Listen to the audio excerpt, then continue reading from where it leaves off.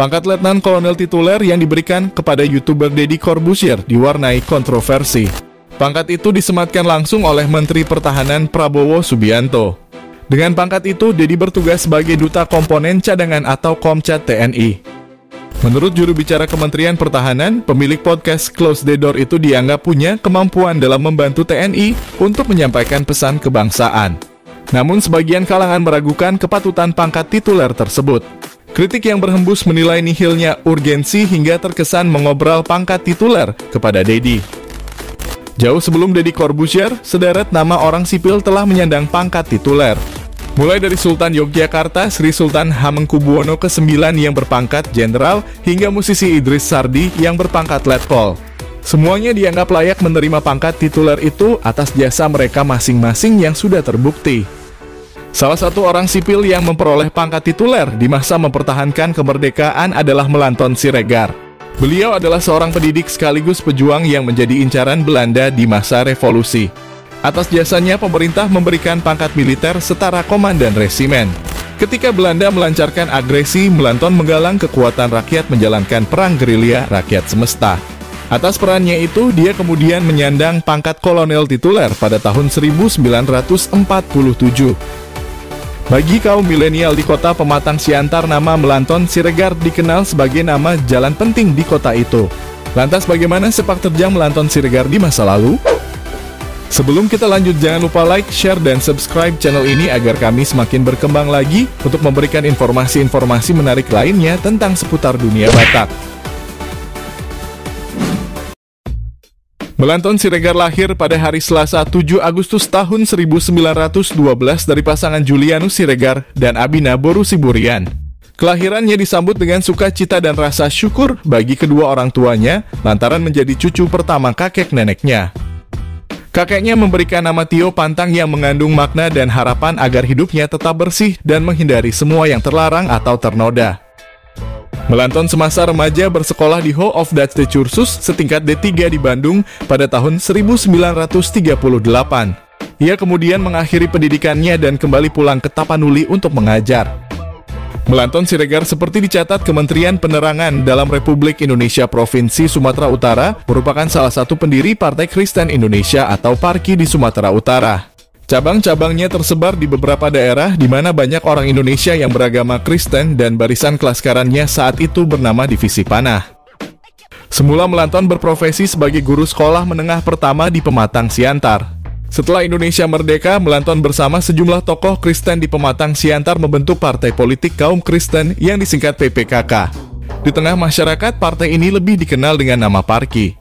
Pada tanggal 5 Desember 1945, Parki dan Partai Kristen Nasional di Jawa dipersatukan menjadi Partai Kristen Indonesia atau Parkindo dalam sebuah kongres di kota Solo. Pada tahun 1946, Melanton menjadi Ketua Umum Parkindo Sumatera Utara. Pada saat itulah Belanda telah menguasai kota Medan. Hal ini membuat sebagian besar warga Medan mengungsi ke Pematang Siantar. Untuk menghimpun kekuatan perjuangan, Melanton membentuk barisan kelaskaran Parkindo yang bernama Divisi Panah dan dia sendirilah yang menjadi panglimanya. Pasukan Divisi Panah secara real berkekuatan satu resimen personalia. Untuk melengkapi persenjataannya, Divisi Panah mengusahakan sendiri dengan membeli atau berasal dari rampasan. Pada waktu itu, senjata-senjata seperti bedil, pistol, bahkan senjata otomatis banyak diperjualbelikan secara gelap. Asal senjata itu bermacam-macam, ada yang dari pihak Jepang, tentara sekutu, maupun selundupan dari luar negeri. Keperluan logistik lain untuk pasukan juga dihasilkan secara swadaya melalui usaha-usaha perkebunan kader Parkindo.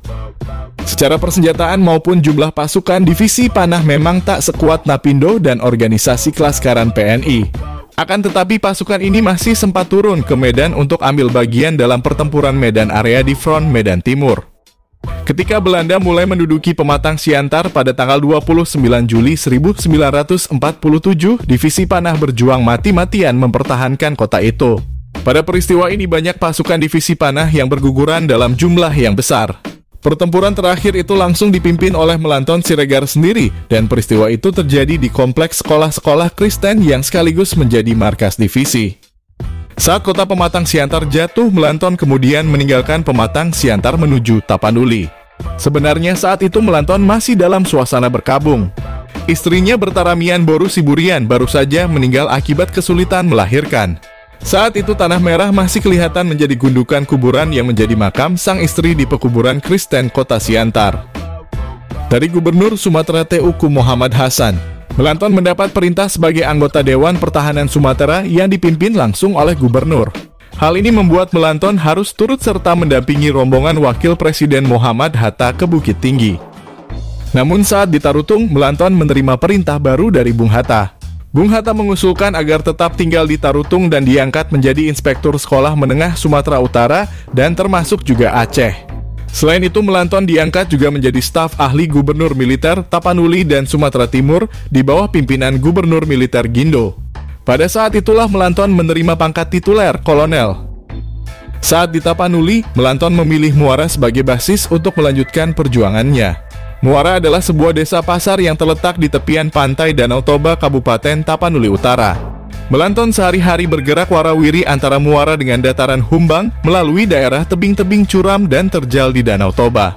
Mobilitas yang demikian intens dilakukan demi keamanannya karena saat itu Belanda berulang kali berusaha meringkus Melanton. Ketika Belanda berusaha untuk menangkapnya beberapa kali di kampung halamannya, Lumban Silope Arung, kampung mertuanya, Paranginan, dan Muara sendiri digempur Belanda. Pasar Muara bahkan luluh lantak akibat dibakar tentara Belanda. Meski di bawah todongan ancaman Belanda, Melanton terus berjuang. Dia menggalang kekuatan rakyat menjalankan perang gerilya bersama TNI. Dari penggalangan warga sipil itulah TNI banyak mendapat bantuan seperti keperluan logistik, kurir, hingga telik sandi. Namun yang terpenting dari itu semua, Melanton berperan dalam menjaga semangat rakyat Tapanuli untuk tetap tinggi dan setia terhadap negara.